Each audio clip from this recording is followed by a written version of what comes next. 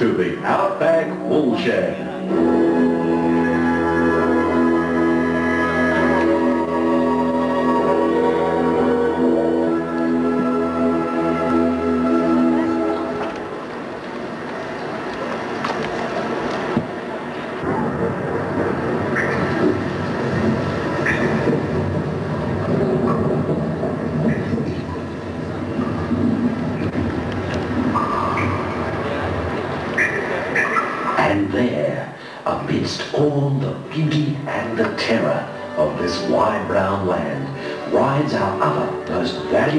Resource, the Outback Stockman. Please welcome the man from Ironbark.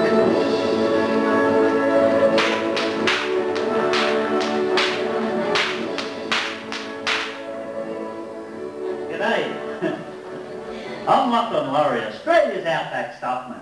And I'd like to welcome you all here today to the Outback Woolshed. I've been asked here today to show you some of the skills of the Outback Stockman and basically what I'll be showing you is what happens to a fleece wool from the time when it's out there in the paddock growing on the sheep's back till it's ready to be sent to a manufacturer. But to do that properly, I'm going to need the help of a mate of mine. Here, Cass! Get. Come on. Okay, this bloke here, he is my mate, and he's going to help me muster the sheep ready for shearing. His name is Casper, and we can't forget my big mate I rode in on. Her name is Susie Babe, the woolshed queen. These dogs are working dogs, and what you're about to see them do is not a trick, but a day in the life of a working dog. To get the dogs to work, you're going to hear us use a few commands. One of them will be come behind. That'll get the dog to come back to us after the job they've been sent to do is completed. Another one is push up. That'll get the dogs to move the sheep along a little bit quicker and a little bit harder. And the final command, and probably the most important, because it is the one that will get this muster started here today, and it is go away!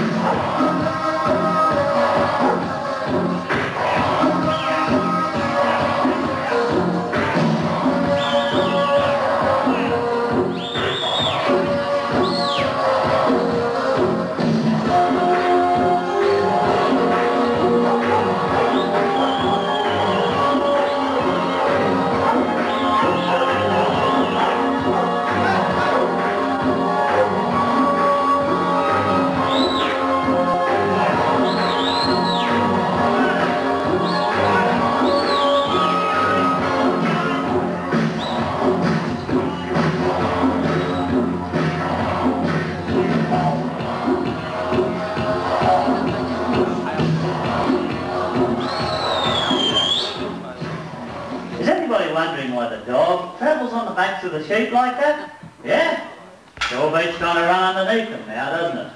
Now this long, narrow section of the sheep yards is known as a race. The purpose of the race is to make the handling of the sheep as stress-free as possible. Not only on the sheep, but also on us as well. We use the race for a number of different operations. We can separate the sheep into different mobs using a set of gates like these ones. It also enables us to administer various medications to the sheep with a minimum of fuss.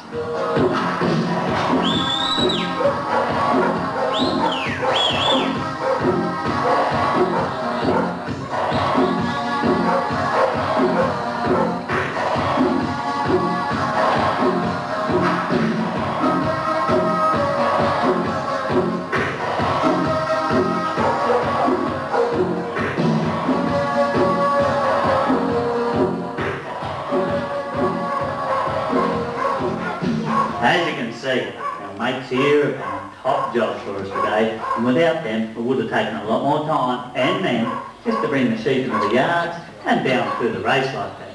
Now, Cass, did you want to say something? You don't want me to say all that, do you? You do? Okay. Casper here just wants me to tell you that they all write and they rave about the stockman, the drover alike. The one that's best. He can bark and bite. The stockman and drover, they're only men. But a good dog, he's worth at least ten of them. You are a good dog, aren't you, mate? Go on, off you go. Okay, let's hear it for the dog.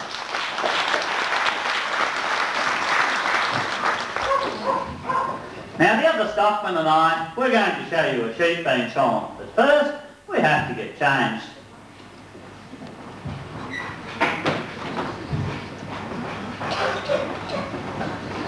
Now you're probably wondering why we're changing our boots. These ones here, they're designed for riding horses in, not for shearing sheep. These ones here, however, they're called bag boots or moccasins, which most shearers do wear. The shearers of old originally made and wore these bag boots so they could say they're good walking boots to travel from shed to shed. Yeah, well, we'll admit they're not the prettiest pair of boots we've ever worn, but they're certainly a lot more comfortable shearing than what those riding boots are. Now, I think I should also tell you, all the sheep we will be shearing here today are merinos, the finest wool-producing animal in the world, but also the most difficult to shear. Now you will notice on this sheep, which I will be blade shearing, we've removed some of the wool from around the belly area here, and also up here around its head. This has been done to make this sheep resemble the original merino sheep that Elizabeth and John Macarthur first brought to Australia. Since that time, wool producers have bred the sheep in such a way that they've increased in size by about 60%, and the wool, it now grows much longer and a lot denser. They've also bred a lot more skin on the merino sheep, the theory being the more skin the sheep has, the more wool it's going to produce. And all of these things combined have resulted in what you see here today. That's the modern Australian merino. And we do have a fine example of a modern Australian merino ram over here on the wall, and we call that bloke Charles. Now while we're shearing, you're going to notice these big flaps of skin like this around the necks of the sheep. And to get an idea of how big these flaps of skin can be, just have a close look there at Charles's neck. But these are only half the problem for us shearers, because along with these flaps of skin here, the body of the sheep is covered with hundreds of tiny little wrinkles. Anyway, I think it's about time we showed you exactly how we do shear a sheep, and right now I want to introduce you to an old shearing mate of mine, Gidgee Greg. He'll be shearing with us here today. G'day! Come on, Greg. You call those things there shears? Yeah? Please. What are you doing? Ah. Oh, Now that machine thing that Greg will be using actually took the place of these blades back in about 1888. But I don't know, I still reckon these are better than any machine. I reckon you're having to lend yourself there, old fella. You reckon? I reckon. What do you want to make some sort of race out of this then? A race Yeah, a race. in front of all these people. Oh no, I thought we'd leave it till they all go home. What, better? It'll save me embarrassing you in front of them all. Right here, right now, and we'll let all of these people witness it. Oh. Well, what do you reckon? Will I race this old fella or not? Yeah, race him? Righto, mate. You're right. Well, you get yourself ready. Tell you what, Dad, as soon as he has got a hundred years of technology on his side, how about I get all of you out there today to say go on the count of three, okay? One, two, three. Go! No, sorry, hang on, for up. now. Wait a minute. Mate, I've just started in a race, if you don't mind. But I haven't. What do you mean you haven't? Well, how about giving me a bit of power first? Oh, I see you want me to turn your power on. Here to switch. Why have I got to turn it on? I don't need it. Oh, come on, Laurie, there you go. Oh, okay then. Are you ready now? Well, I'm only waiting for you now. Good. Is everybody else ready? She doesn't sound much like it, does it, Greg? Let's give them one more go at that, eh? Is everybody else ready? That's better. Now remember, on the count of three, you say go, we'll get this race started and we'll soon see who the best shearer is in the outback wool shed. Oi! Get on with it. One, two, three. In Australia, a shearer can work all year round if he wants to. Before we moved this side of the mountain, we used to start work the first working Monday in January and knock off around about Christmas Eve. When we'd start work, we'd be way up on the Queensland border somewhere. But by Christmas Eve, we would have worked our way right down through New South Wales onto the Victorian border. Because we do shear all year round in Australia, we shear in all sorts of seasonal conditions, from temperatures in excess of 50 degrees Celsius, or if you like, that's 120 degrees Fahrenheit, down to the sub-zero temperatures of the mountain winters down south. How you over there Greg? hey, Laurie, I'm going to tell you, mate. They're knocking off 5.30 in the evening. On an average day, a good shearer, he'll shear around about 140 sheep. Top shearer though, he'll shear in excess of 200 sheep every day. Shearers are only paid by the amount of sheep they shear, and at a rate of around about $1.53 per head. That's a lot of incentive to become a top shearer. Now this bloke's starting to catch up here a bit. I'm going to have to get stuck into this.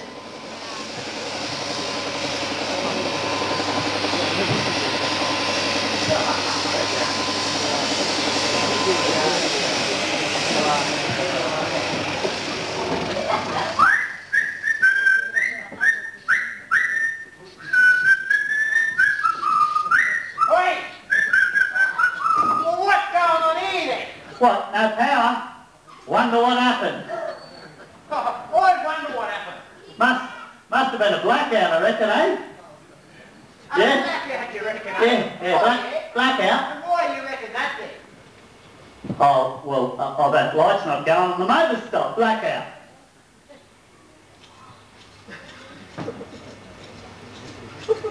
Uh, Laurie, Yeah, mate, yeah, if it's a blackout, yeah. why are all these other lights still going? oh, yeah. Oh, there's solar power. Oh, solar power. Yeah. They're the brightest solar power lights I've ever seen. Modern technology is a wonderful thing. What a tech. In most cases these days, Shearer doesn't regard his position as a job, but he'd rather consider himself to be more like a professional athlete. Hey, what? What?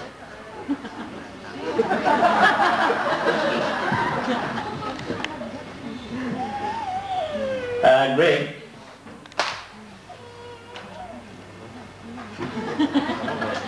Greg, What, mate?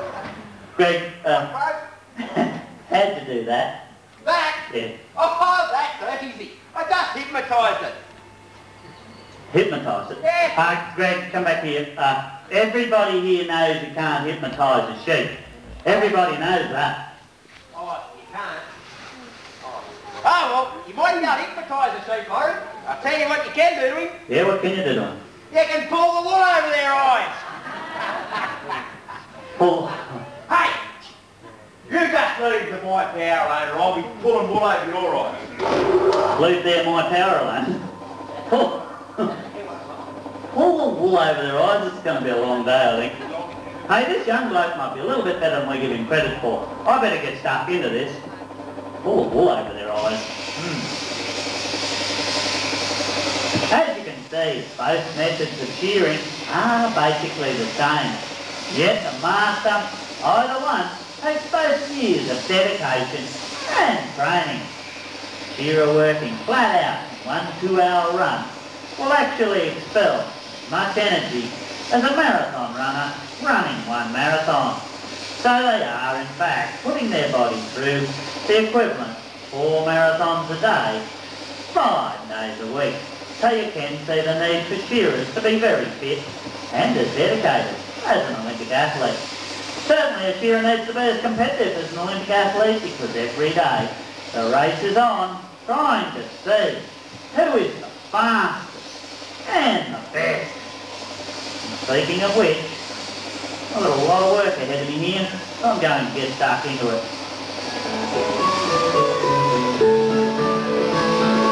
Out on the moor, the old shearer stands, clasping his shears in his limp arm behind. Fixes his hands on fair valley view, glory if he gets around, oh, he's like the ring of God.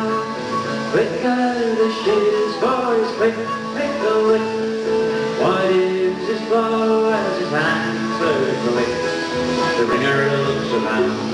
he's by a blow, and he curses the old snagger with a belly yell.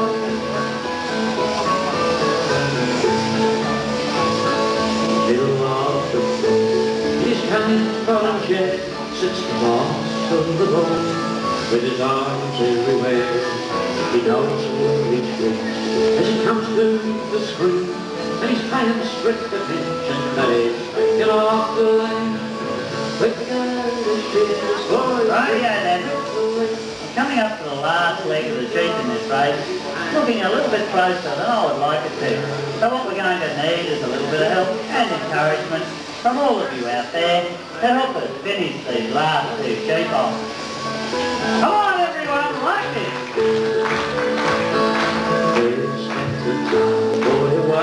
in the night with his collecting charcoal in his starry hand.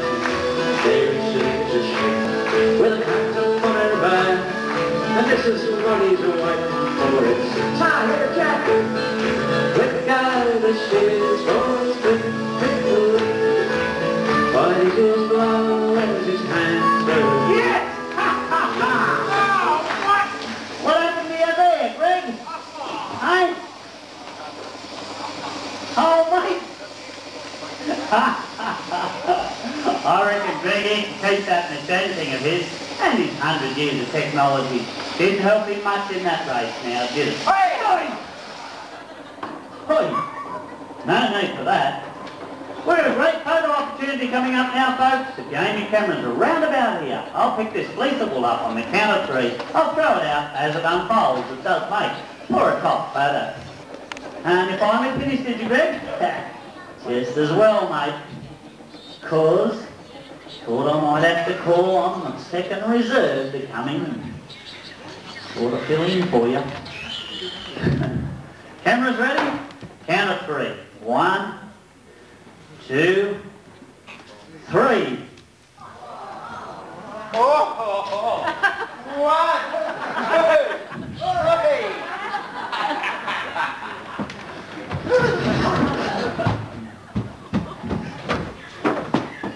Stay out. now you've seen what happens to a fleece of wool from the time when it's out there in the paddock growing on the sheep's back till it's ready to be sorted into all of its various qualities. Now, hey, go, go.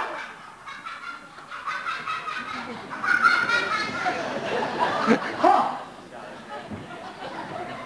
Huh, who's that laughing? Hey, what's your problem? My problem? Yeah. You cheated! Turn me power up, slow me down just so you could win. Oh, oh, come on, mate. It was only a friendly little race we're putting on for the people. A friendly little race. Yeah, Friendly, you reckon, eh? just friendly. Ha ha. I'll keep you friendly. Straight up. Huh.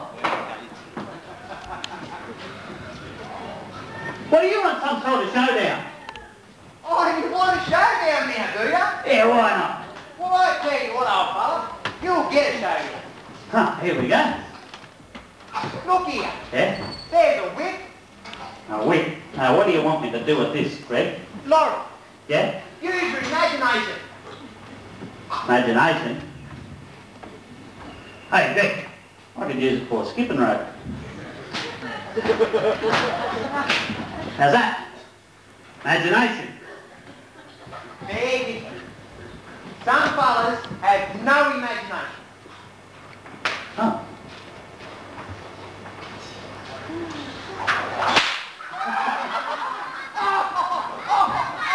That's not what I Oh, well, I used my imagination. And you're laughing.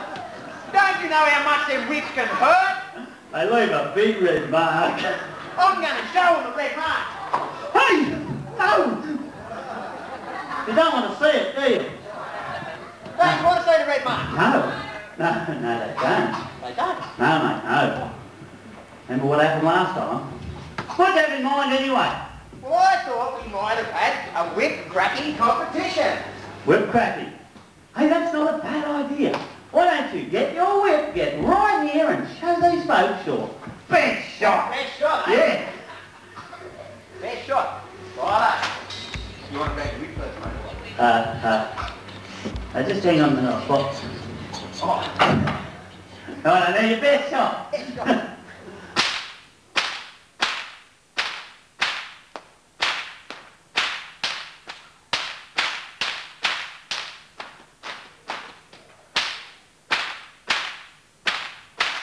Hey, how was that, eh? Woo-hoo! See how far beat that? Your best shot. Oh, and what are you going to do to? Well, first of all, I'm going to get rid of you. Sorry, Jack.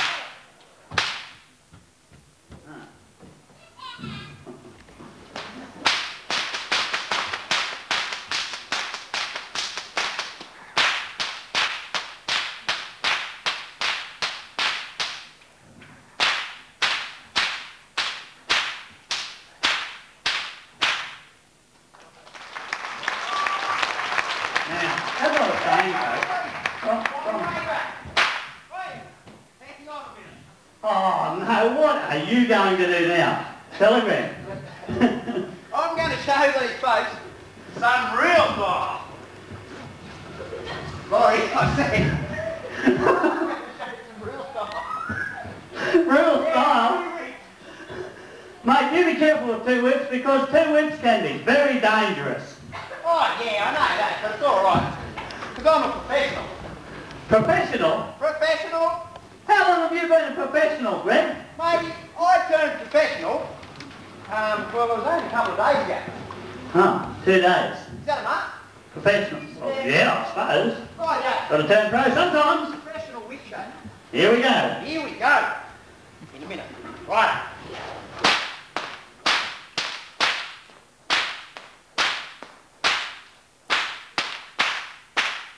Woohoo! How was that, eh? Hey, that's not too bad. For a young bloke. Oh, for a young fella, here we go. Imagine how good you're going to be when you're my age. You all right? Yeah. Hey, mate, by the time I'm 45, I hope I've given it away.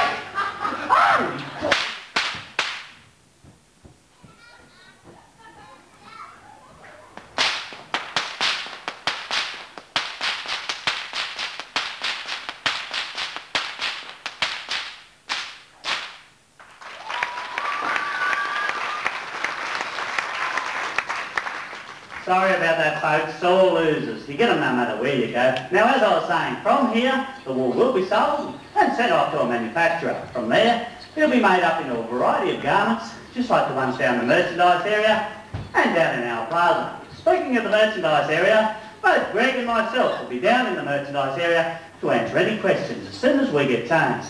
But right now, we just want to thank you all for coming and being part of the Outback Woolshed. Thank you.